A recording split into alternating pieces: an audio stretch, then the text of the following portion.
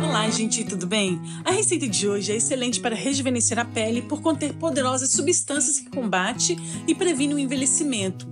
Além disso, contém anti-inflamatório natural, ferro, magnésio, potássio e licopeno, eficazes na prevenção e cura de várias doenças de pele, tais como acne, erupções cutâneas, dermatite e outros problemas de pele. Contém também vitamina C, que auxilia na produção do colágeno no corpo.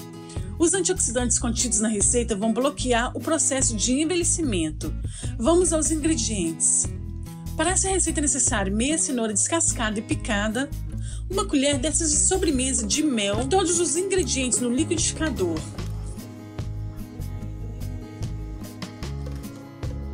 Bata até formar um creme.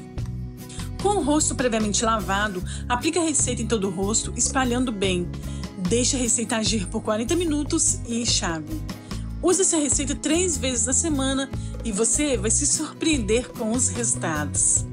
Esse foi o vídeo de hoje. Se vocês tiverem alguma dúvida a respeito dessa receita, deixe aqui nos comentários que eu vou respondendo a todos. Não se esqueçam de curtir o vídeo para ajudar na divulgação e se inscreva no canal para receber mais atualizações de vídeo.